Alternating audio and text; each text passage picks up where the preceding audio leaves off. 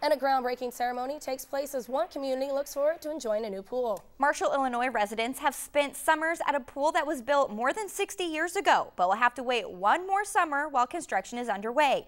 Newswatch's Lynnsey Veach has more on the ceremony and how the pool will benefit the community.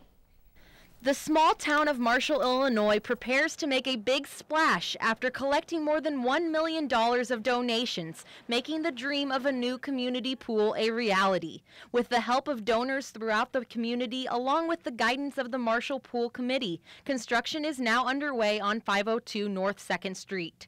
Today, the community came together once again at a groundbreaking ceremony in front of the lot to celebrate the pool makeover. Pool Committee co-chairman Sarah Tarble says the new pool that's expected to be finished by the summer of 2019 is fulfilling a huge need. It was built to last for 40 years and and they were they they did really well. It lasted for 60 years. But um, we're excited. It's bittersweet to tear out the old pool because we have so many good memories.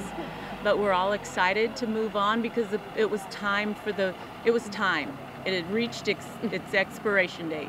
Looking ahead, Tarble says the new pool will include a water slide, a splash pad for kids, and swim lanes for the Marshall swim team. I think it's going to benefit more people than ever before. Lifelong resident Ashlyn Hendricks was one of the excited audience members who watched as community leaders dug into the dirt at the ceremony. I think it's going to be really neat that generations down the line are going to have the same experience that I had at the pool and that my kids and their kids and their kids are going to have the same experience. Hendricks was a lifeguard at the pool for the past few summers, making the groundbreaking ceremony even more special to her. The pool is broken down almost every single day. We have to constantly fix it and there are just a lot of hazards and it's so nice to see that the outside community also recognizes this and that they want to take a part in helping the pool too.